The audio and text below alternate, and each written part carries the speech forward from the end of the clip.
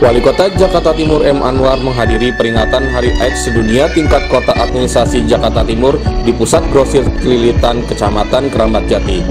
Peringatan Hari AIDS Sedunia yang mengusung tema Saya Berani Saya Sehat Tahu Status Lebih Baik dengan subtema melalui peran PKK kita tingkatkan kesehatan bagi keluarga dalam penanggulangan HIV dan AIDS di wilayah Kota Administrasi Jakarta Timur ini diisi dengan pemeriksaan VCT dan penandatanganan komitmen bersama program penanggulangan HIV AIDS pemeriksaan IMS, mobil VCT, gula, darah oleh pelayanan kesehatan. Wali Kota mengatakan Hari AIDS Sedunia merupakan sebuah momentum warga dunia, khususnya warga Jakarta Timur untuk lebih meningkatkan kepedulian serta komitmennya semua pihak terhadap upaya pencegahan epidemi HIV AIDS. Dirinya menjelaskan berdasarkan data laporan kasus HIV/AIDS di wilayah kota administrasi Jakarta Timur secara kumulatif sampai dengan bulan Desember 2017 sebanyak 9.235 kasus Sedangkan tahun 2018 bulan Januari sampai Maret tahun 2018 ditemukan 312 kasus.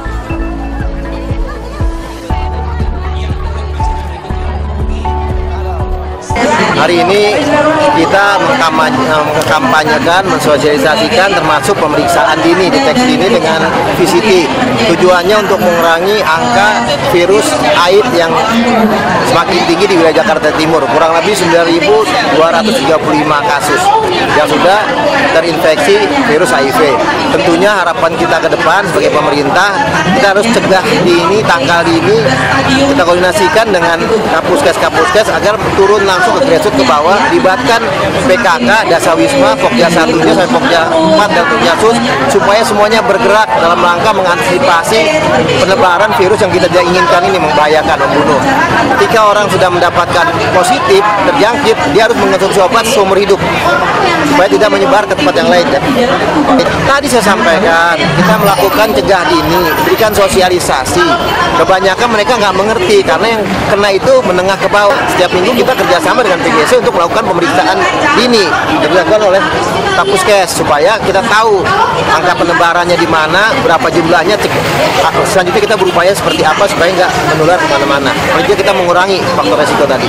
Uh, peringatan Hari AIDS Sedunia untuk DKI Jakarta itu berlangsung secara kumulatif. Artinya mulai dari tingkat kota, kemudian nanti terakhirnya tanggal 25 pada tingkat provinsi. Nah, pada tingkat kota Jakarta Timur bagian yang pertama nih pada hari ini. Nah, kemudian nanti minggu depan di wilayah lain, wilayah lain dan puncaknya pada tanggal 25 pada tingkat provinsi. Nah, mereka laksanakan di Car Free Day. Kalau kita laksanakan di sini. Kemudian untuk Jakarta Timur uh, saya berfokus pada keluarga. Kenapa pada keluarga? Karena uh, angka HIV/AIDS sekarang yang meningkat itu pada ibu rumah tangga.